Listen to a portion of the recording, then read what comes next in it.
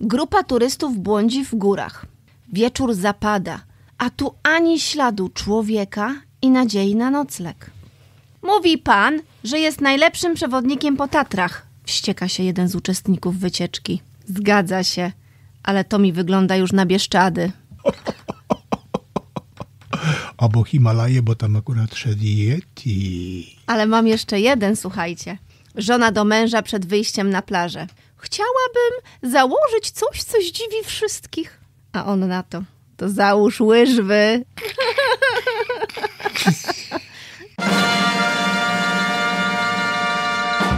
Hania. Dzieciandia to jest podcast dla wszystkich.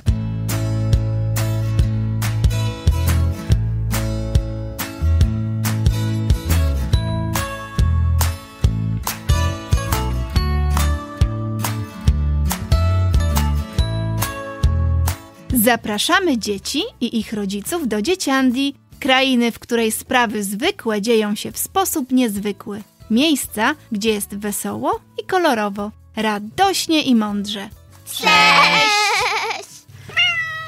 Przywitałaś się?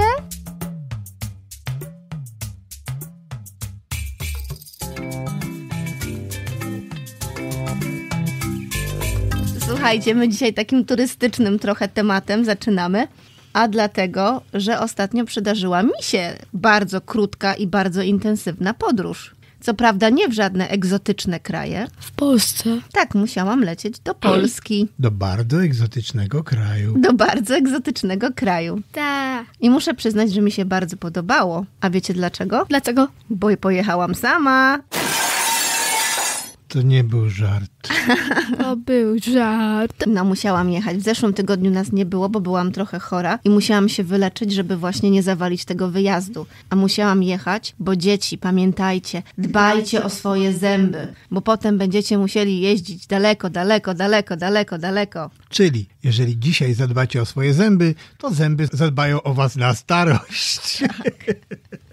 I ta podróż była dosyć długa, ponieważ w czwartek musiałam wyruszyć już o czwartej rano, żeby dojechać jednym autokarem do Londynu na London Victoria Station, czyli taki Ojej. Ojej, Dworzec ojej, autobusowy. Na taki dworzec autobusowy największy. I nawet musiałam zwrócić panu kierowcy uwagę, nigdy tego nie róbcie, ale ja byłam bardzo poirytowana, ponieważ już byliśmy, już po lewej miałam London Victoria Coach Station, już tam byłam, ja już tam jedną nogą byłam, a zaraz mój drugi autokar odjeżdżał, a pan do mnie mówi, nie, bo health and safety. Tak samo u nas wczoraj, kiedy poszliśmy do mojej przyjaciółki na... Urodziny. No, to był autobus, co był na... Jest, gdzie- jaki autobus będzie, a on tylko... Przejechał, nie zatrzymał się na naszym przystanku. Kierowca był zdziwiony, że do niego machamy, bo tu się macha na autobusy. Był zdziwiony, że na niego machamy i że w ogóle tu jest przystanek. I pojechał dalej, w ogóle się nie zatrzymując. Nie wiem, to był chyba jakiś dziwny tydzień dla wszystkich. Magiczny. Magiczny. Złapałam autokar na moją kolejną destynację.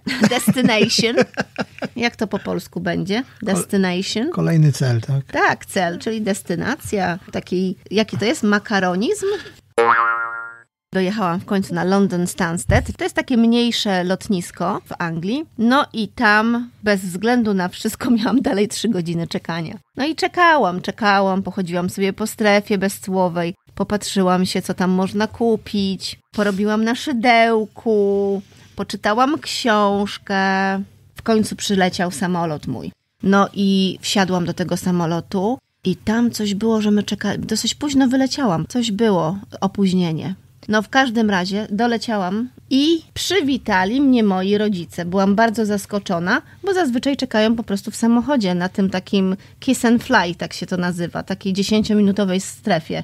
Fajnie, że przyjechali i czekali na mnie przy wejściu, przy wyjściu moim, Ty weszłaś, ale dla nich wyszłaś. no i idziemy na parking, żeby zapłacić za parking. No i niestety się okazało, że mamy do zapłacenia 80 zł. Co? No.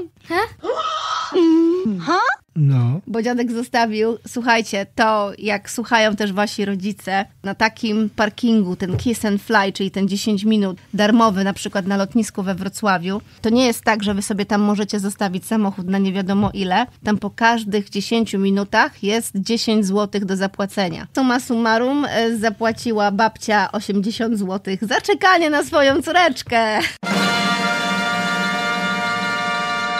No ale dojechaliśmy bezpiecznie, wszystko jest ok. Załatwiłam swoje potrzeby dentystyczne. Dbajcie dzieciaki o zęby, naprawdę. Jak wam rodzice mówią, idź umyć zęby, to idźcie umyć te zęby i sami też pamiętajcie, żeby te zęby myć i o nie dbać. Nie musicie często, wystarczy 12-20 razy dziennie. Dwa tata. Tu, tu, tu, tu, tu, tu, tu, ta. Pincesek. Był dzień dla mnie tam i dużo zobaczyłam, bo byłam w okolicach katedry, poszłam na Ostrów Tumski, byłam w hali targowej. No i oczywiście, gdzie poszłam, Haniu? A mleczania. We Wrocławiu poszłam do mojej ukochanej mleczarni. Dostałam moją ukochaną cytrusową herbatkę I kubek. i dostałam ciasteczko, było bonofi, bardzo dobre było. No i potem poszłam do pani i mówię, ja bardzo bym chciała taki kubek. Ja mówię, jest szansa, że można to kupić? Ona mówi, tak, mamy w sprzedaży. Ja mówię, jak macie w sprzedaży? No mówi, tak, mamy filiżanki, mamy kubki, spodeczki. I że tak ładnie powiem, zaopatrzyłaś się. Zaopatrzyłam się i była pani, była bardzo, bardzo miła. A ja mówię, o Boże, słodka kobieto moja kochana. No był to miły wyjazd, ale właśnie. Miły, co? ale narzekałaś, że 13 godzin jechałaś tam do Wrocławia. No A właśnie. gdyby to było średniowiecze, to byś z miesiąc jechała. Dokładnie. Ja widzę już mamę, jak to opowiada w średniowieczu. Ależ to było męczące. Myśmy półtora tygodnia przez ten bór jechali. Myślałem, że nie wyjedziemy. No i potem był powrót. Całe szczęście, że z powrotem był krótki lot, krótka podróż. Właśnie, podróże małe i duże. Mam pytanie. Słuchajcie, powiedzcie mi, po co są podróże? Żeby się spotkać z kimś, tak? No to jeżeli ja włączam na przykład kamerę tutaj i przez internet gadam, to już odbyłem podróż tam, czy nie? A, zagadka. A la la la. No podróżuje się w różnych celach. Czasami te podróże są krótkie, czasami są długie. A, bo się w różny sposób podróżuje. Bo podróżuje się w różny sposób. W jaki sposób można podróżować, Haniu? Walk. Można iść. Można latać. Można podróżować na rowerze, jadąc kotu? rowerem. Czyli w ogóle Na jadąc. kocie, w kotobusie. Jadąc. Kotobus jest najbardziej wygodny, mi się wydaje. Ostatnio jak nim jechaliśmy, było bardzo wygodnie. A nie, to był sen. Ale wiesz, naprawdę jest gdzieś taki station w Tokio chyba? Albo gdzieś w Japan, gdzie jest taki kotobus? I jak jeszcze można podróżować? Szlaki. No płynąć. Można płynąć albo na przykład wodą u góry, albo w pław, czyli rękami machając. albo Wodą jak- u góry płynąć? Tak, bo można... No ja wiem, że to brzmi śmiesznie. Można Na płynąć statku. na wodzie Można albo... płynąć statkiem, Nie, nie, nie. nie? Bo statkiem można płynąć na wodzie i pod A, wodą. no tak. Są podwodne statki wycieczkowe? Są. Są. Ta, ale Właśnie, i są różne nich- rodzaje, tak? Ta, ale jeden z nich już nie ma. Jaki? Titanika. Jak nie ma? Dalej tam jest. On jest właśnie bardzo podwodny w tej chwili. Zostawcie Titanika. Można podróżować w różnych celach, można podróżować w różny sposób, w różne destynacje. Taty ulubione słowo. Ale dla mnie osobiście te podróże są męczące. Ja naprawdę, naprawdę chciałabym, żeby to było tak. Hop i jestem. Czyli Teleportacja. powiem wam coś innego troszeczkę. Taoizm, taki chiński, trochę filozofia, trochę religia, to mówi, że nie liczy się osiągnięcie celu, czyli destynacja mamy, tylko liczy się sama droga, sama podróż ma znaczenie. No także, no Trzeba pytanie, się każdym dniem cieszyć. ko- pytanie kogo spotkasz? Tak, życie jest piękne, jest zbyt krótkie i każdego dnia trzeba wstawać z uśmiechem i się cieszyć, że się otworzyło oczy. Oczywiście, ale to nie znaczy, że trzeba je zawieszać gdzieś. Dobrze. Oczywiście. Bardzo Wam dziękujemy, że spędziliście z nami dzisiaj tą chwilę i zapraszamy Was Na stronę internetową dzieciandia.pl, a poza tym na bajkowisko. Co nazywa się? niebo. Niebo? Naprawdę? Nie miałem żadnego lepszego? Miałem nieboskłon, ale niebo jest krócej. Zapraszamy!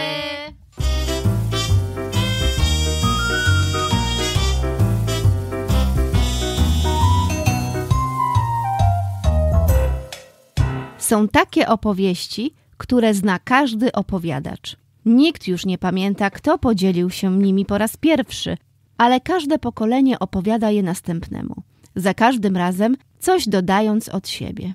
Tak zrobiła również Halinka, gdy pewnego zimowego wieczoru, siedząc z dziadkami przy rozpalonym kominku, pozwoliła popłynąć tej opowieści.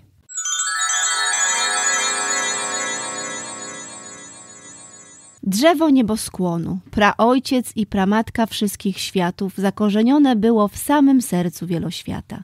Choć chaos wśród konstelacji trwał, a walki o panowanie nad przestrzenią kosmiczną były nieustanne, drzewo rozwijało się spokojnie, pośrodku tego niekończącego się starcia świateł i mocy. Tak, nieboskłon był polem bitwy, a każda z konstelacji miała swoją osobowość, moc i broń. Niektóre z nich były sprzymierzone ze sobą, inne rywalizowały. Nie było dnia ani nocy, kiedy nie słychać było huku i grzmotu, błysku, mocy i odgłosów walki. Wśród konstelacji był Orion, najsilniejszy i najdzielniejszy z wojowników. Jego pas i miecz były legendarnymi broniami, które potrafiły zranić każdego przeciwnika. Orion był nieustraszony i dumny, ale też sprawiedliwy i honorowy. Nie atakował bez powodu, ale bronił swoich przyjaciół i terytorium. Jego największym rywalem był Skorpion, zły i podstępny stwór, który zawsze knuł intrygi i zasadzki. Skorpion bał się Oriona, ale też go nienawidził i pragnął zemsty. Orion miał też swoją ukochaną, piękną panią. Była to delikatna i łagodna konstelacja, która reprezentowała miłość i pokój. Jej włosy były splecione z kwiatów, a jej oczy lśniły jak diamenty. Piękna pani kochała Oriona i podziwiała jego odwagę, ale też martwiła się o niego i pragnęła zakończenia wojny. Często prosiła go, żeby był ostrożny i nie ryzykował. Korona drzewa przenikała gwiazdy, a liście emanowały magicznym blaskiem, tworząc oazy spokoju wśród chaosu kosmosu. To tutaj, na gałęziach drzewa, gniazdowały się magiczne księżycowe koty, strażnicy nieboskłonu. Zrodziły się z woli drzewa i otrzymały zadanie pilnowania równowagi, dbania o harmonię między konstelacjami i przeciwdziałania wszelkim próbom naruszenia tego porządku. Na jednej z magicznych gwiazd przebywała Mirza, księżycowa kotka o białym futrze i oczach błyszczących niczym księżycowe refleksy. Miała zdolność rozumienia mowy konstelacji i odbierania fal energetycznych pulsujących w nieboskłonie. W jednej z takich chwil, gdy gwiazdy wydawały się tańczyć wokół drzewa, Mirza wyczuła niepokój. Wszystkie koty zebrały się na gałęziach, a ich oczy skierowane były w kierunku Oriona i pięknej pani. Mirza zrozumiała, że wydarzenia tamtej nocy miały wpływ na równowagę nieboskłonu.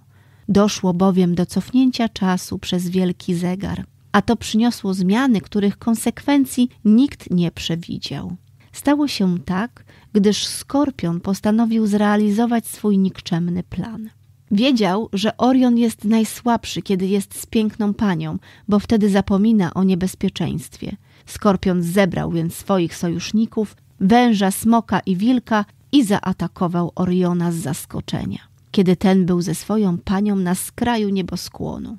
Zanim Orion zdążył się zorientować, został otoczony przez wrogów i zraniony przez jad skorpiona. Piękna pani krzyknęła z przerażenia i próbowała pomóc Orionowi, ale była bezbronna i słaba. Na szczęście dla Oriona jego przyjaciele zauważyli atak i przybyli mu na ratunek. Byli to wielki pies, mały pies, byk i łabędź. Każdy z nich miał swoją specjalną umiejętność i broń. Wielki pies był najszybszy i najzwinniejszy, a jego szczęki mogły zmiażdżyć każdą obronę. Mały pies był najsprytniejszy i najbardziej lojalny, a jego urok i dowcip potrafiły rozbroić każdego wroga. Byk był najsilniejszy i najbardziej wytrzymały, a jego rogi mogły przebić każdą zbroję. Łabędź był najpiękniejszy i najbardziej elegancki, a jego pióra mogły odbijać każdy atak. Razem stanowili potężną drużynę i walczyli z determinacją i odwagą. Udało im się odeprzeć atak Skorpiona i jego sojuszników, ale nie bez strat. Orion był ciężko ranny i stracił przytomność. Piękna pani płakała nad nim i błagała go, żeby nie umierał.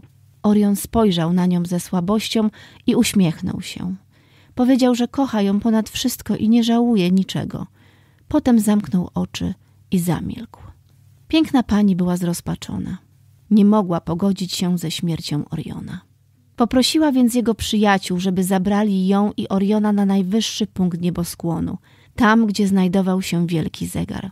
Był to starożytny mechanizm, który kontrolował czas i przestrzeń. Piękna pani miała nadzieję, że może tam coś zrobić, żeby uratować Oriona. Przyjaciele spełnili jej prośbę i ponieśli ją i Oriona na swoich plecach. Ruszyli w drogę, mijając po drodze inne konstelacje, które patrzyły na nich ze smutkiem i współczuciem. Dotarli do wielkiego zegara. Położyli Oriona i piękną panią na jego tarczy. Panna dotknęła wskazówki i poprosiła zegar, żeby cofnął czas i przywrócił życie Oriona. Zegar zareagował i zaczął się obracać wstecz. Wszystko zaczęło się zmieniać. Rany Oriona zniknęły, a on odzyskał przytomność. Piękna pani była szczęśliwa i przytuliła go mocno. Zaskoczony Orion zapytał, co się stało. Piękna pani opowiedziała mu, jak go uratowała wraz z przyjaciółmi. Dodała, że teraz będą razem na zawsze. Wszystko nie było jednak tak piękne, jak się wydawało. Zegar nie cofnął tylko czasu, ale też zmienił przestrzeń. Konstelacje zostały przeniesione w inne miejsca i ułożone w inny sposób.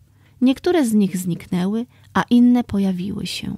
Niektóre z nich zmieniły kształt i znaczenie. Niektóre z nich straciły swoją moc i broń. Niektóre z nich zapomniały o swojej historii i osobowości. Nieboskłon stał się inny niż był wcześniej.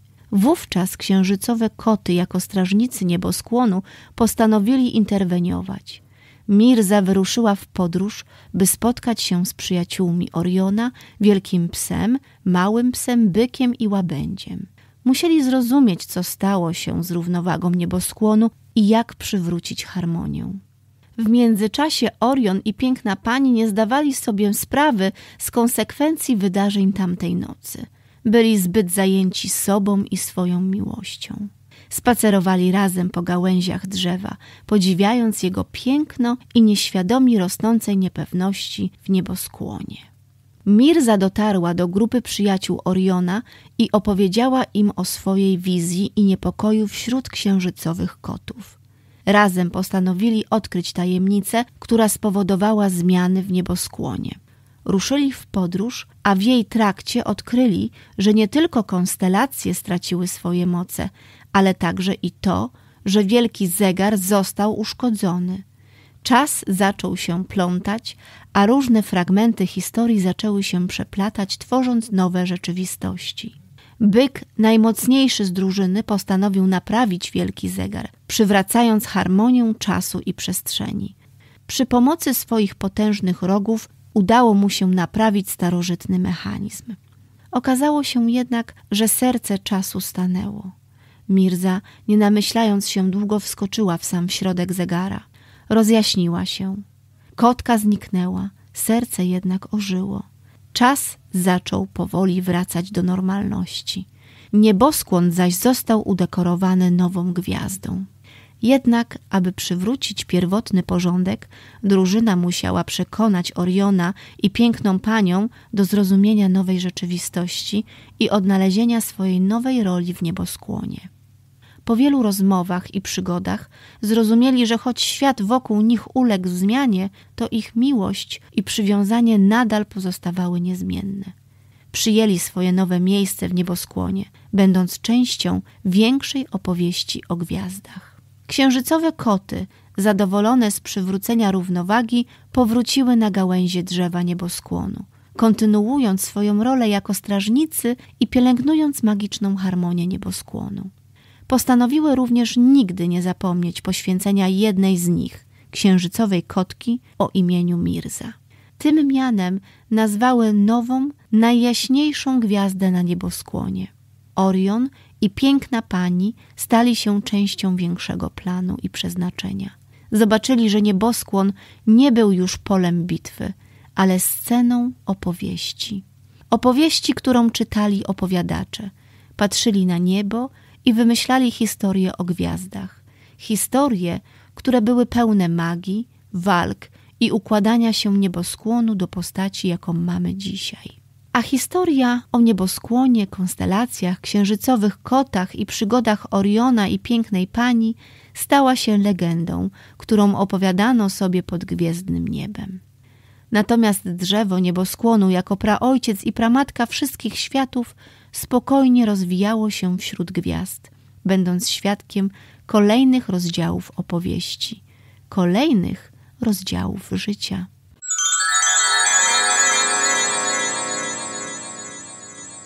Za oknem śnieg sypał nieustannie, tworząc białą kołderkę na ziemi. Halinka skończyła mówić opowieść i spojrzała na swoich słuchaczy. Zobaczyła w ich oczach zachwyt i wzruszenie. Uścisnęła mocno najpierw babcię, a potem dziadka i poczuła, jak ich serca biją w jednym rytmie. Miłość wypełniała cały dom, od podłogi do sufitu a dwa koty, które spały na półce z książkami, mruczały cicho i rozciągały się leniwie. Na ich pyszczkach malował się uśmiech. Opowieść, którą usłyszały, była pełna magii i nadziei. Była tak inna od tych strasznych wydarzeń na nieboskłonie, których kiedyś były świadkami. Wydarzeń, które chciały zapomnieć na zawsze.